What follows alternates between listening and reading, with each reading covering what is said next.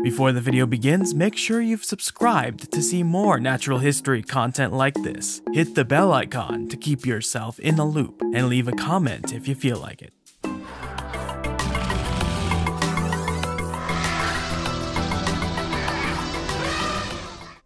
Brand new designs are up on the Edge Redbubble. Werewolves, spiders, FedEx amphibians, proto-crocs, and more. Go check out the Redbubble with links in the description and comments section below. Tyrannosaur Evolution is a topsy-turvy collage of messy footnotes, blank gaps of lost time, and incredibly thorough evolutionary manuscripts. It's really a unique thing, as there are chunks of their family history that are supremely crystal clear, while others are shrouded in some of the darkest black magic the fossil record can muster. It is as the stone gods proclaim it, each new piece of the puzzle, no matter how insignificant, fractured, or shattered, gives humanity another piece of their natural history back. Moros is just one more of those pieces. Utah has become the new dinosaur mecca over the last few decades. After the dinosaur dig sites of Colorado were exhausted by East Coasters during the late 1800s and early 1900s, the next spot for untold riches of the Mesozoic was Utah paleontologists had been researching a dig site called the Stormy Theropod Site in Emery County, Utah, for about a decade. When, in 2013, some leggy bones were seen eroding out of a hillside by esteemed Dr. Lindsay Zanno of the University of North Carolina. Once them leggy boys were carefully excavated, prepared, taken back to the museum, unwrapped, and prepared some more, they were described in 2019. Turns out the team had found some teeth close to the bones and were able to associate them with the leg bones. All these bones came out of a slice of rock called the Mussentuchit member, which is a section of rock in the much larger cake of the Cedar Mountain Formation. This dates these bones to what's called the Cenomanian age of the late Cretaceous epoch. That makes the bones, give or take, about 96.4 million years old. The research team was able to age the bones based on the rock it was found in, since studies had already been done on the age of this slice of sediment. But their ages are also based on the type of animal the bones belong to and zircon crystals found in the sediment that contain radioactive isotopes, which can tell us how old the rock they were deposited in was when they were deposited. Fun stuff, right? Altogether, the bones found include parts of the thigh bone, shin bone, foot bones, and toe bones. Then there's those teeth I mentioned, which are from the very tip of the snout, called the premaxilla by nerds. That ain't a lot, and every online know-it-all can clearly tell this isn't enough fossil material to name something off of. I'm not gonna blindly follow convention, but I think we should listen to Dr. Zanno, an expert in her field. Plus, she worked with an entire team of experts over a period of years to decide whether or not the remains were good enough to apply a name to. That being said, what was that name and what did the critter look like? The crew gave it the name Moros intrepidus, Moros being the Greek embodiment of impending doom, and intrepidus just being the Latin form of the word intrepid. In order to get the dirt on what kind of individual the bone owner was, they cut some slices out of the leg bone and photographed it under a few different wavelengths of light. They were able to see growth lines in the bone, which are laid down periodically as the critter grew. This told the team the critter was around subadult age, roughly 6 or 7 years old when it died. This sex could not be determined from the remains. When all the nitpicky characteristics of the bones were tallied up and placed in a matrix of other theropod dinosaurs, to see where the beast fell on its family tree, the team found it to be most closely related to Timurlengia from Uzbekistan and Xiongguanlong from China. This makes the darn thing an early branching tyrannosauroid. Even though it's missing all the cool bits that'd tell us what the whole beast looked like, its kibbles and bits do tell us something more important how tyrannosaurs evolved. Moros is currently the oldest known diagnostic tyrannosauroid from the Cretaceous period of North America. It rests in a sweet spot of unknowns. There's a huge gap of tyrannosaur fossils in North America from the late Jurassic to the latest Cretaceous. the late Jurassic forms being quite un-Tyrannosaur-like, and the Cretaceous forms already being the grand mega-predators everyone loves to drool over. There are a few ways to tell how big something is, if all you have is stuff like a leg. The easy way is to compare the leg to critters with more bones, and just kinda generalize. You're not gonna get anything precise, but you'll be pretty accurate since the general proportions of tyrannosaurs didn't stray too, too far from the norm. Obviously, there's some math stuff you can work out to narrow down a size a bit better, but I don't think that's necessary with Moros. Moros was small, and that's pretty much it.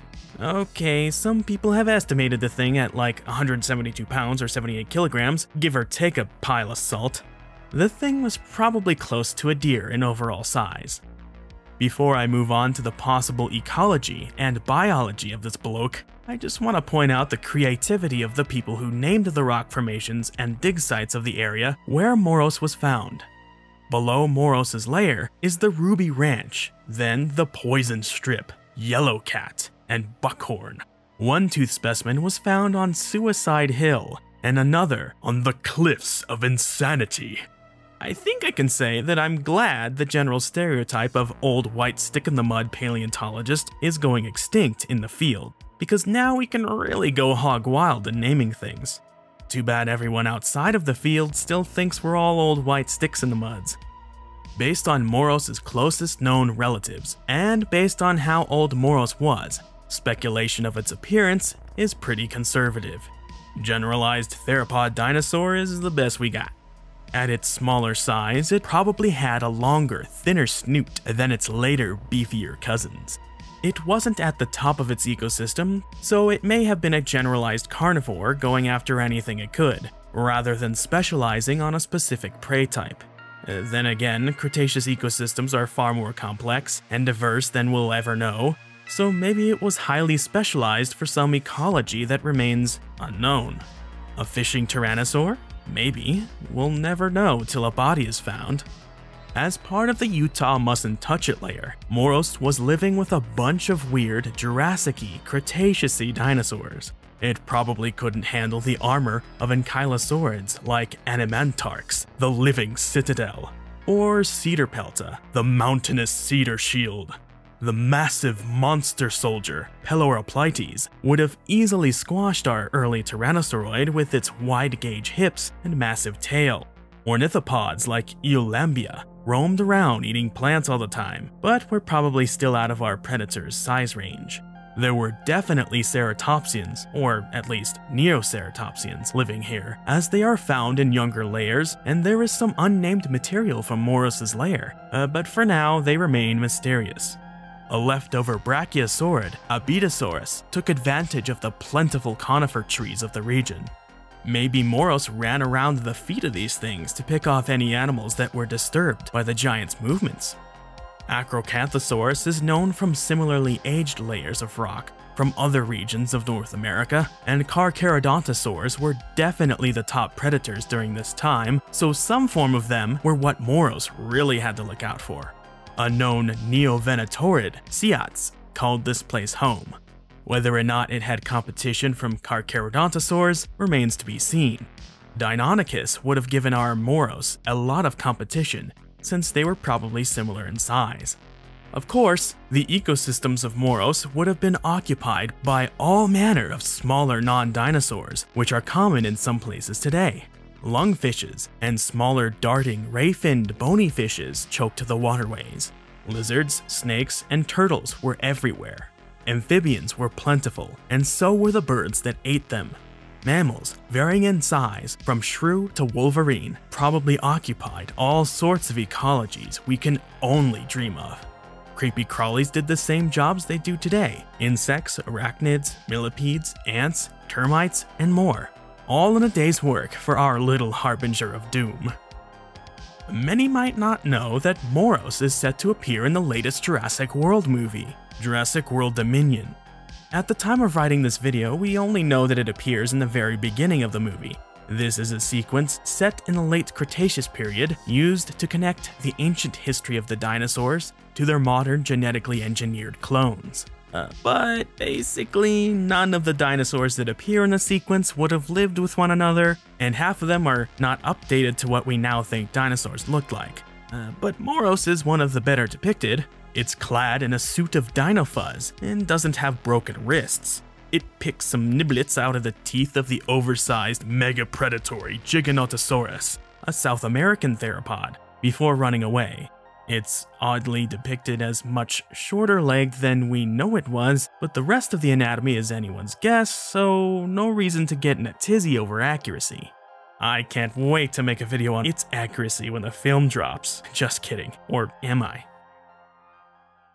For more interesting stories about nature, the history of life, or what goes bump in the night, subscribe, hit the bell icon for updates, like this video, and drop a comment in the comment section below. Thanks for watching. Special thanks goes to my elephant tier patrons Thea Svensson, Staniforth Hopkins, Dinosaur, Chris Frampton, Biotaverse, Arda Bayer, and Christoph Hubinger, as well as my Tyrannosaur patrons Iron Bladesman, Henry Brennan, Danny Van Heck, and Dana Manchester.